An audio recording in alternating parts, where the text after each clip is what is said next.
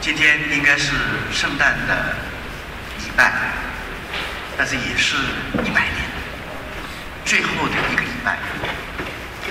展望一百零一年，我接着老愿意从耶稣亚在晚年，当他一百一十岁的时候，在耶稣亚记最后一章当中，他对他一生的回顾，当做我们一百年来我们自己对自己侍奉的回顾，也当做我们一百零一年侍奉的参考。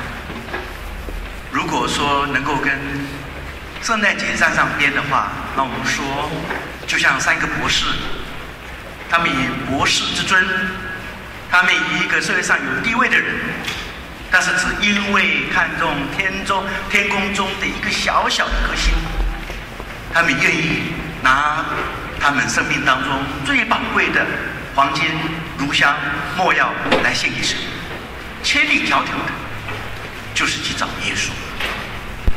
耶稣亚记有什么特色？耶稣亚记啊，大家知道，耶稣亚是丰功伟绩的人。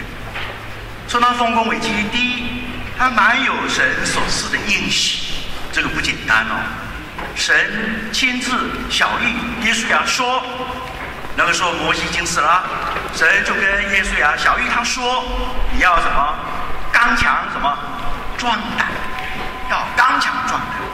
他亲自跟这个年轻人讲：“你一定要刚强壮胆。”啊，当时耶稣啊虽然跟摩西经历了很多很多的征战，耶稣啊是个很成功的人，但是神要他要刚强壮胆。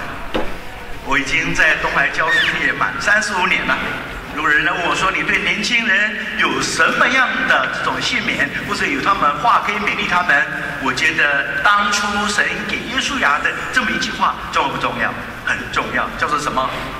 刚强壮胆，所以讲刚强壮胆，他是代表人物啦，满得上帝的恩赐，应许应许，啊，亲自听到神跟摩西、耶稣亚这样的小玉，那实在是不简单的。第二点说耶稣亚好，说耶稣啊值得我们去思考，因为他守法，他守诫命，他是一个很守法的人，他熟悉律法，遵守诫命，而且他能够执法如山。在他带那个这个这个以色列人在旷野里面漂流的时候，去找定居的地方的时候，他执法如山。坦白讲，他不输给摩西。这一个年轻人满得上帝的恩典，做了很多他被赋予的工作，他一个一个都去达成。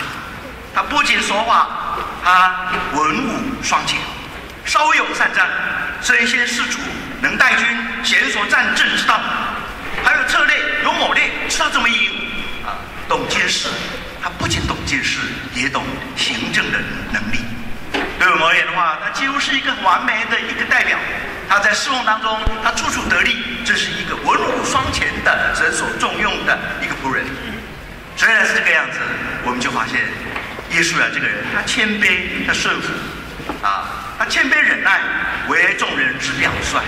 啊，他里面很成熟，他敬虔，他顺服，啊，在他可以说是最佳的领导，也是我们最好的模范，如果讲下去，耶稣亚啊，值得我们大书特书，但但是，当耶稣亚知道自己生的生命已经到了一个段落了，当回顾他一生的时候，他居然就讲了这么一句话，我看的非常非常的感动。他怎么说呢？啊，他用。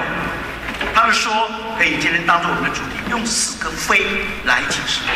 我向来国语发音中不大标准，我用这个题目坦白讲很冒险的，服是是非啊，有时候不大清楚啊，服是是非啊。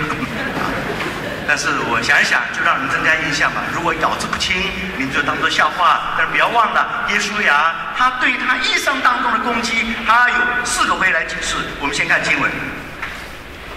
耶稣亚记二十四章十一节到十二节，他说：“你们过了约旦河，到了耶利哥，耶利哥人、亚摩利人、比比啊比利洗人、迦南人、赫人和撒迦人、西魏人、耶布斯人都与你们征战。”意思就是说，当以色列在啊迦南地那边漂流的时候，有八个族啊跟他征战啊，他要抢地方住，大家都要抢地方住，又不跟他住，征战呢啊。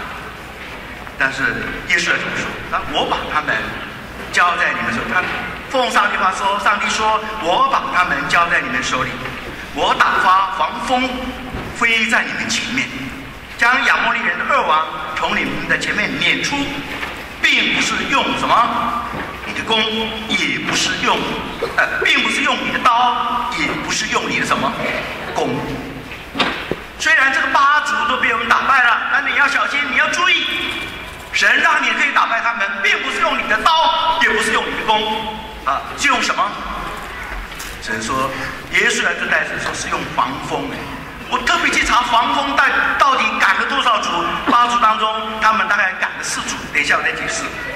二十四章，哎，十三节就写这么一句话，他说：“我赐给你们地土，非你们所修治的；我赐给你们诚意。”非你们所建造的，你们就住在其中，又得吃非你们所栽种的葡萄园、橄榄园的果子。刚才我们看到的，非用刀，非用什么？非用弓，是第一个非。第二个非怎么样？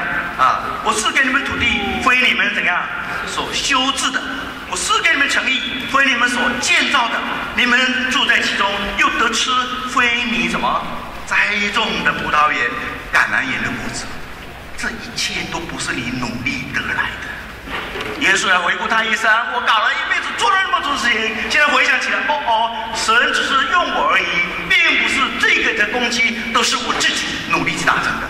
怎么说呢？啊，英文就不讲了。那第一份，并不是用你的弓，也不是用你的，呃，不是用你的刀，也不是用你的弓。什么意思？什么叫做弓？什么叫做刀？魏国之间用武力打天下，像成吉思汗，像亚历山大，像秦始皇，像非常非常多伟大的王。当然，他们都用他们的刀，用他们的什么弓。但是，一些人打败八主，跟刀跟弓没有关系。现在什么叫做刀？什么叫弓？当然可以讲核弹，讲飞机，讲舰艇啊。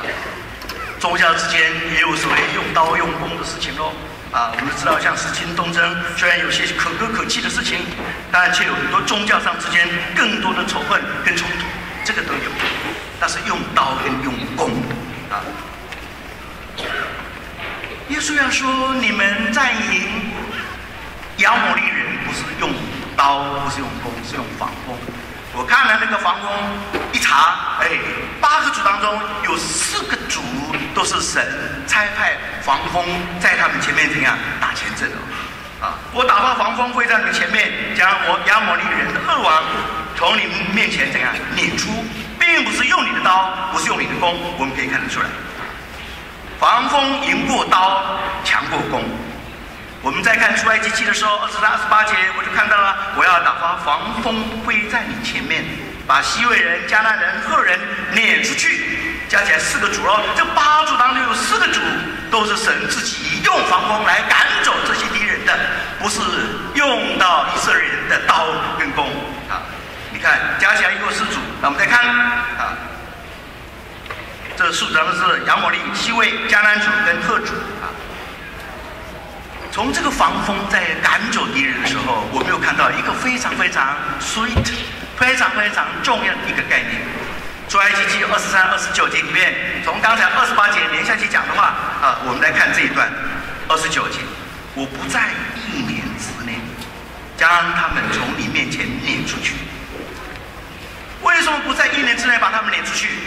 他说，恐怕地成为荒凉，野地的兽多起来害你。我要渐渐的将他们从你面前撵出去。他说：“渐渐的将他们从你面前撵出去，等到你的什么人数加多，能够承受那地为业。你拆派风来，不是赶快把他赶走不就得了吗？你要消灭敌人，不是赶快把它消灭就好了吗？你为什么不在一年之内把它完成？”你为什么让他们还在，永远在那个字好像永远在旁边？神用那一句话来讲说：“他我不在一年之内将他们撵出，我只是渐渐的将他们从你面前撵撵出去，为的是怎样避免地成为荒凉，避免野兽多起来害你们。”啊，请注意，经里面这个时间概念不在一年之内，而是渐渐，不是在一年之内。为什么？如果赶得太快，怕地荒凉；如果地的荒凉时候，野兽多起来会害人。渐渐是什么意思？叫等我们人多，足以承受那地为业。